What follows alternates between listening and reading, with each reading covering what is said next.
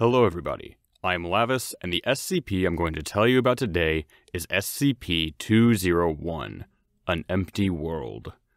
Let's begin. Item number SCP 201. Object Class Euclid. Special Containment Procedures. No personnel are to come within 40 meters of SCP 201 at any time. Any and all work done with SCP 201 is to be performed via remotely controlled drone. Any personnel entering the containment area must be accompanied by two members of security. All personnel in containment area must wear a restraint harness with safety rope attached to the wall rope will allow access to within 3 meters of the minimum safe area. Exceeding this distance will result in physical removal from containment area and formal discipline. Those affected by SCP 201 are to have time and date of exposure, disappearance, and return, along with any and all personal information recorded in logs. Subjects who reappear are to be recovered as soon as possible by agents and debriefed immediately.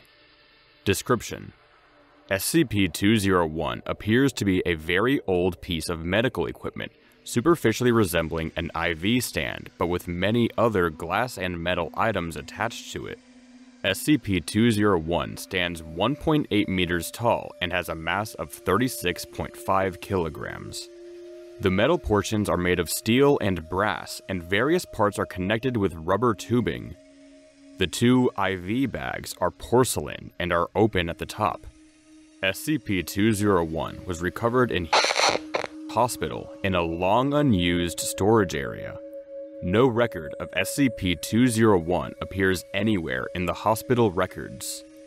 Entering within 30 meters of SCP-201 can result in the subject being displaced into an alternate reality.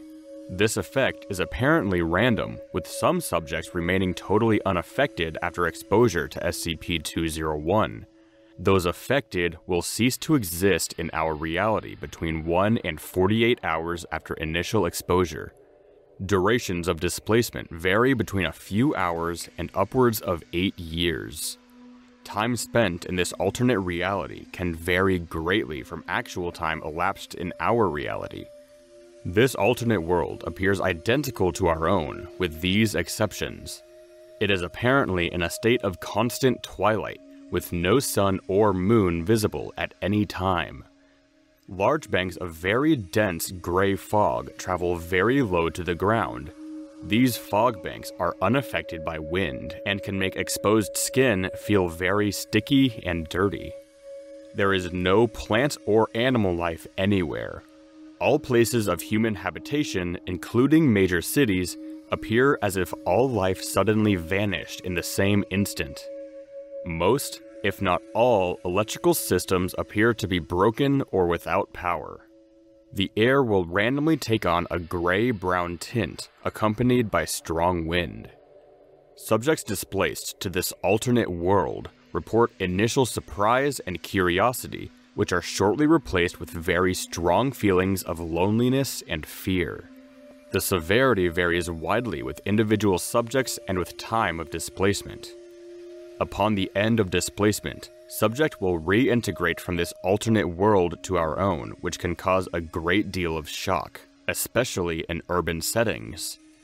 Most subjects who remain displaced for more than three months suffer lasting psychological damage consistent with being sequestered within solitary confinement.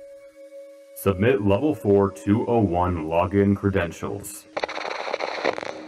Credentials accepted. In addition, reports of intermittent, fragmentary broadcasts have been returned by subjects attempting to repair power to media devices such as televisions and radios. It is unclear if these are real or the product of the degraded mental states of those remaining long enough to complete said projects, but reports consistently resemble automated messages prepared by the Foundation in contingency for XK class scenarios.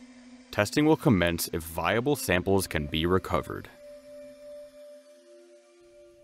Thank you very much for listening. If you like what you heard and would like to hear more, please consider liking and subscribing. It would be greatly appreciated. Also, if there are any SCPs that you would like me to read, please leave them in the comments below. Have a nice day.